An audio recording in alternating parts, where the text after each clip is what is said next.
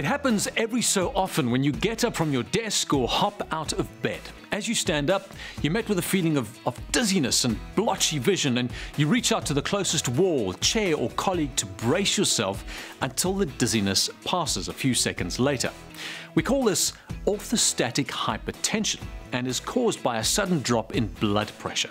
When you're sitting or lying, it's easy for your heart and blood vessels to circulate your blood throughout your body. As soon as you stand up, gravity pulls your blood down to your ankles. Your heart and blood vessels need to react quickly to ensure your brain gets the blood it needs. It takes only a few seconds for these corrective measures to kick in, and while your body waits, you feel dizzy. The condition is more of an annoyance than it is a danger, but if it starts happening often and lasting for longer, have it checked out. Otherwise, simply stand up slowly.